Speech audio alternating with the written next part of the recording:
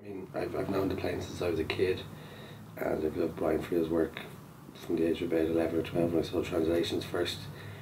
And just his play, I think, for an Irish actor is, uh, I think it's an important play to do if you get an opportunity to do do it. and I think it's just an incredible opportunity to be able to play one of the two parts.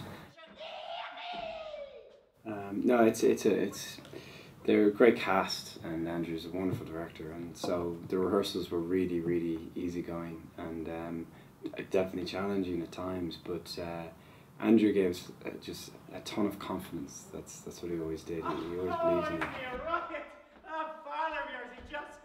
And why it's it's one of the great plays of all time is because even now and then, you know, communicating with family members and, and saying what you you know are thinking and, and trying to have that courage.